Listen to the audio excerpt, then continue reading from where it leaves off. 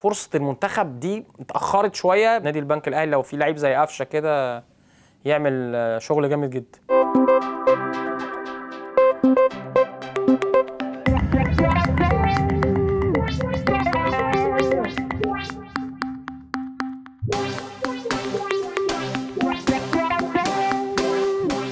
كابتن حسام اسم كبير في الكورة طبعا كان لعيب أسطوري وهداف وأنا كنت بحبه جدا فترة ما كان لاعب هو وكابتن إبراهيم حسن من اللعيبة الجامدة جدا جدا اللي جت في تاريخ مصر واللي عندها روح وقتال و يمكن هو بس كابتن حسام فرصة المنتخب دي اتأخرت شوية بسبب إن هو كابتن حسام لازم يتحكم في انفعالاته إن المسؤولين مثلا في اتحاد أنا بحكي لك بدماغ المسؤولين في اتحاد الكورة.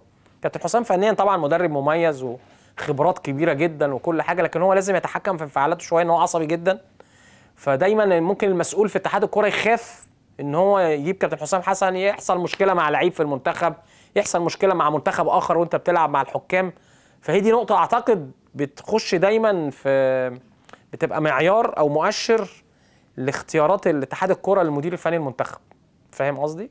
فهي دي لو كابتن حسام ظبط الحتة دي ويعني تمالك أعصابه وهدي كده أثناء الماتشات يعني أكيد هياخد فرصة يعني.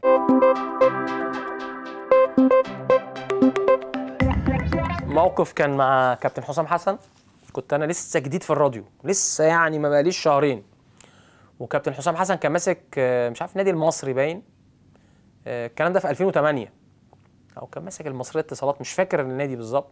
وحصل مشكلة في المباراة وكابتن حسن كابتن حسام ات- اتخانق مع الحكام وكنا في رمضان.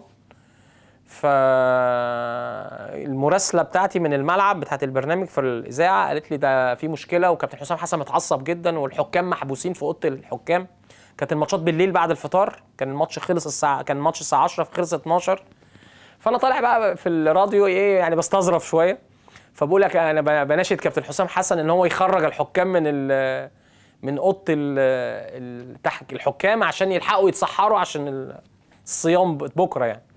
فكان معايا كابتن حسام حسن على التليفون وسامع الكلام اللي أنا بقوله وأنا ما أعرفش فراح داخل فيا شمال بقى قال لي أنت كان معايا كابتن سيد عبد الحفيظ كان زميلي في في البرنامج كنا بنقدم برنامج كورة إف إم أنا وهو.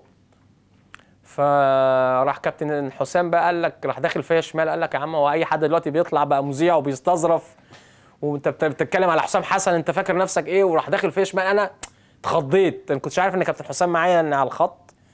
فزعلت قوي. بس كابتن سيد عبد الحفيظ بقى لحقني وقال إحنا لو كنا بناخدها يعني في حاجة طريفة كده وما نزعلش وكده وراح كابتن سيد راح مغير الموضوع إن كابتن حسام إيه وأنا كنت لسه جديد فما عرفش أرد. فاهمني؟ وأنا أنا غلطان يعني كنت باخدها واخدها بشيء من التهريج هو كان متعصب جدا في الملعب. فده كان من المواقف المحرجة جدا بالنسبة لي على الهوا وعارف زي ما تقول إيه خطفني وما ما اتكلمتش. كابتن سيد عبد الحفيظ أنقذني بقى إن هو كان زميلي في البرنامج ساعتها. نفسي أتعاقد مع محمد مجدي قفش.